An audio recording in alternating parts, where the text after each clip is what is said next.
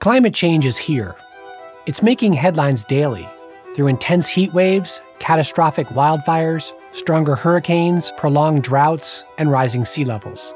Societies worldwide have felt its impact, and businesses are forced to adapt. We have an intergenerational problem. Even if we reduced all greenhouse gas emissions to zero tomorrow morning, there will nevertheless be climate change Business and Climate Change is an online course that covers the science, economic impact, and business implications of climate change. Having an awareness and getting good science that's relevant to your business will allow you to better understand how your business might be impacted over time.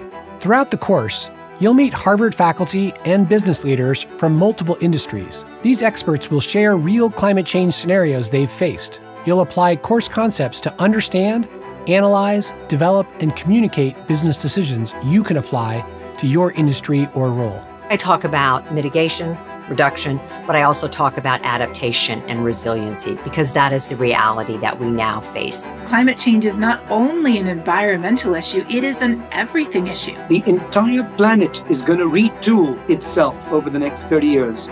Tap into that ethical imperative, that passion. Empower your teams to put an environmental lens on all aspects of their area of responsibility.